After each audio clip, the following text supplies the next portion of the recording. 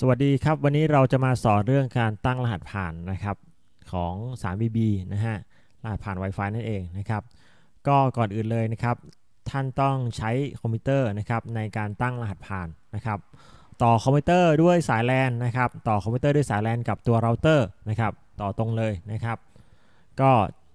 โดยปกติแล้วมันจะขึ้นรูปประมาณอย่างนี้นะครับ หรือว่ารูป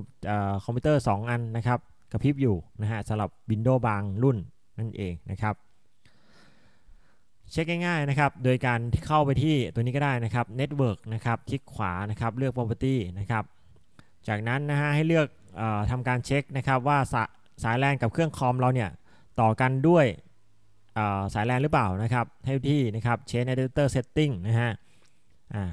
ท่านจะเห็นว่า Ethernet ขึ้นนะครับ Ethernet ดับเบิลคลิกนะฮะจากนั้นเข้าไปเช็คดูนะฮะคำว่า Detail นะครับ Detail อ่าท่านจะเห็นว่า IPv4 นะครับ IPv4 ตัวเนี้ยมันเป็น 192.168.1 นะครับ จุด xxx นะฮะ ซึ่งถ้าเป็น 192.168.1 จุด xxx นะครับ ที่ไม่ใช่จุด1นะ ที่ไม่ใช่จุด1นะครับ ก็สามารถเอาเครื่องนี้ทำการ setup เราเตอร์ได้นะครับ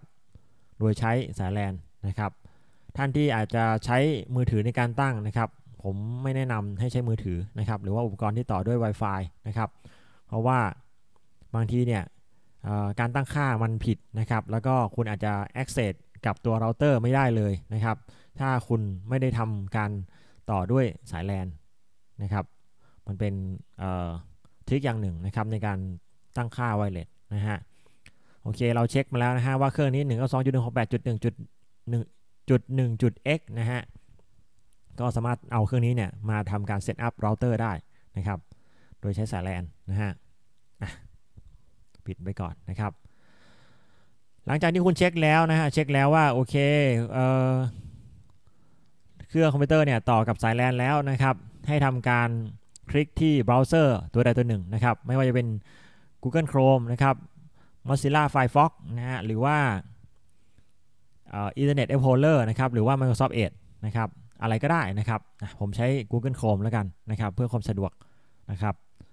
เดี๋ยวมาคลิกขึ้นมานะครับ พิมพ์ตรงช่องค้นหานะครับปกติแล้วเราจะพิมพ์ www อะไรสักอย่างหนึ่งนะครับ เราก็พิมพ์แค่ 192.168.1.1 นะครับ 192.168.1.1 นะครับก็คือ IP เครื่องเราเตอร์นั่นเองนะครับ กด enter 1 ครั้งนะฮะ เราจะไปด,ด่วนนะครับ ในช่อง username นะฮะให้พิมพ์คำว่า admin นะครับ admin ตัวเล็กนะฮะ admin ตัวเล็กนะครับช่อง password นะครับบางคนนะครับของเครื่องบางคนให้ใส่คำว่า 3bb นะครับตัวเล็กนะครับ 3bb นะตัวเล็กนะครับ หรือ MAC address 4หลักสุดท้ายนะครับ หรือ MAC address 4หลักสุดท้ายกรณีที่ใส่แล้วนะครับ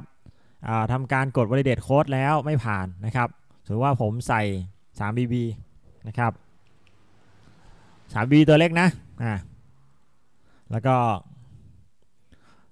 กดที่ validate code นะครับ พิมพ์ตามที่ validate code ขึ้นนะครับ 9z op 2 อ่ากด login นะครับ ถ้ามันขึ้นว่า incorrect username password นะครับ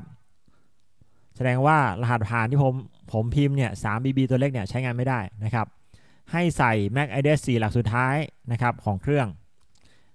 บางคนถามว่า MAC address หาได้จากไหนวะนะครับ หาได้จากหลังเครื่องเราเตอร์นะครับ ตัวนี้นะฮะสติกเกอร์หลังเครื่องเราเตอร์นะครับ ท่านสังเกตคำว่า Mac นะครับ Mac ตัวนี้นะฮะ Mac นะครับ จะเห็นว่าเอา 4 หลักสุดท้ายมากรอกนะครับ เอา 4 หลักสุดท้ายมากรอก อ่า ในที่นี้คือ F5B3 นะครับ ตัวใหญ่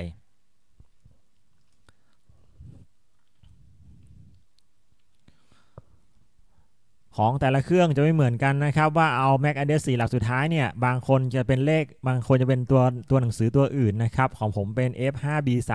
นะฮะ F5B3 นะครับ ก็ไปกรอกตรงช่อง password นะครับพิมพ์ผิดนะฮะ มันมันเปลี่ยนไปนะฮะ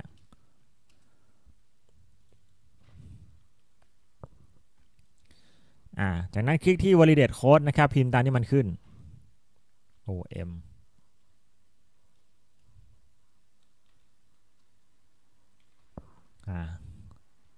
ผมกดล็อกอินนะครับ ถ้าล็อกอินได้นะครับ แสดงว่ารหัสผ่านถูกต้องนะครับ นั่นคืออาจจะเป็นอาจจะเป็น MAC address 4 หลักสุดท้ายนะครับ หรือคำว่า 3BB นะครับ ก็แล้วแต่ว่าเครื่องนั้นถูกเซตมาด้วยอะไรนะครับ เพราะว่าบางรุ่นน่ะมันใช้คำว่า 3BB เฉยๆนะครับ บางรุ่นใช้ MAC address 4 หลักสุดท้ายนะครับอ่าก็จะไม่เหมือนกันนะฮะในการตั้งรหัสผ่านนะครับ ให้เข้าไปที่นะครับ set up the VLAN นะครับ คลิกตรงนี้เลยนะครับ set up the VLAN นะครับ จากนั้นให้เปลี่ยนรหัสผ่านตรงนี้นะฮะ password นะครับ password อ่าแต่ password เนี่ยนะครับ password การตั้ง password นะครับ ควรตั้งอย่างน้อยนะครับ 8 ตัวอักษรนะครับ 8 ตัวอักษร จะเป็นเลข 8 หลักก็ได้นะครับ หรือว่าเป็นตัวหนังสือก็ได้นะครับ เลข 8 หลักก็ได้ หรือตัวหนังสือก็ได้นะครับ ผสมกันอยู่นะครับ8หลักนะครับถึงมากกว่านั้นนะครับ 8 หลักถึงมากกว่านั้นนะครับ ก็ในที่นี้ผมจะใส่เป็นเบอร์มือถือของผมนะฮะ อ่าผมเปลี่ยนเสร็จนะฮะผมทำการกด validate code นะครับ ตรงนี้นะฮะหลอกเหมือนเดิมนะครับ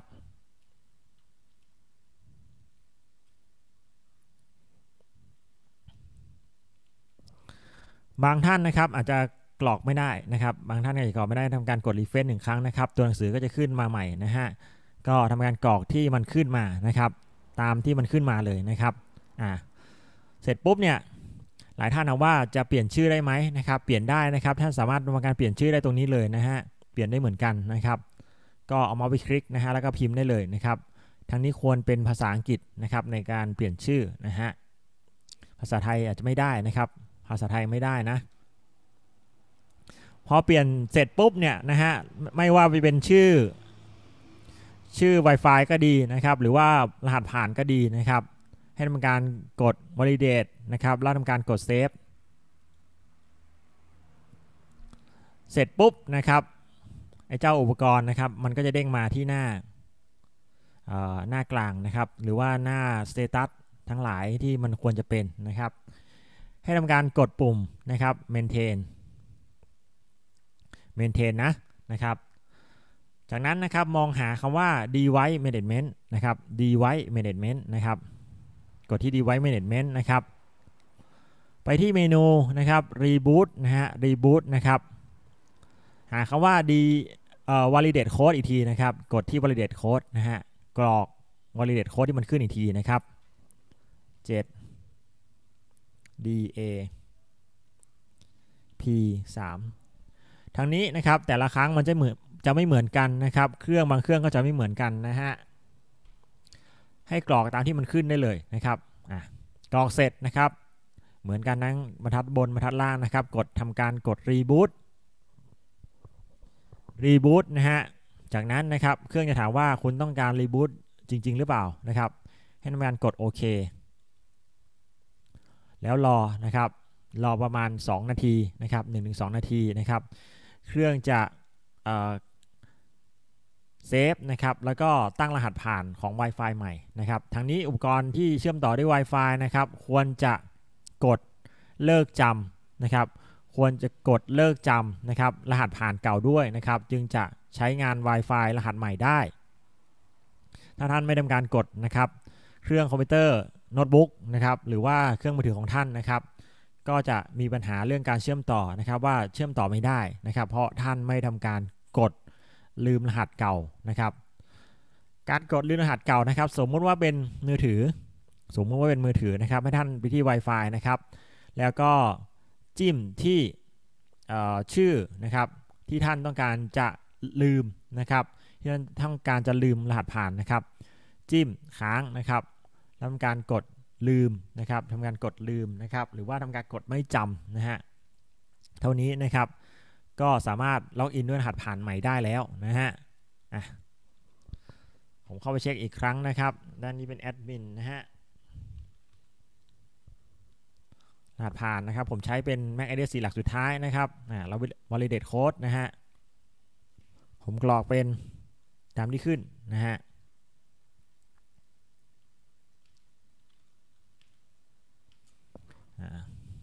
กด login นะครับ การเช็คง่ายๆนะครับ ก็ไปที่นะฮะเช็ค status นะครับตัวนี้นะฮะอาจจะได้ว่านะครับมีเครื่องที่ต่อด้วย wireless นะครับอยู่นะฮะมีเครื่องที่ต่อด้วย wireless อยู่นะครับ แสดงว่าอันนี้ผมกรอกและเปลี่ยนไปนะครับ ก็อยู่ในเครื่องของในเป็นอันนี้น่าจะเป็นโน้ตบุ๊กนะฮะที่ทำการต่อ wireless อยู่นะครับแล้วก็ใช้รหัสเก่านะฮะรหัสเก่านะครับ ส่วนที่รหัสใหม่ที่ผมตั้งนะครับ อาจจะ ไม่ไม่ได้ทำการล็อกอินถึงเครื่องนี้นะครับ ก็แสดงว่าเครื่อง Android นะครับหรือว่ามือถือ Android เนี่ยนะฮะต้องไปกดลืมรหัสเก่าก่อนนะครับ แล้วก็ใส่รหัสผ่านใหม่นะฮะแล้วก็ใส่รหัสผ่านใหม่ไปนะครับโอเคนะครับสำหรับคลิปนี้ก็พามาแนะนำประมาณนี้นะฮะในการตั้งรหัสผ่านนะครับ แล้วก็ชื่อ Wi-Fi นะฮะว่าจะเปลี่ยนอย่างไรนะครับ ก็ทำตามคลิปได้เลยนะครับ โอเคครับ ขอบคุณครับ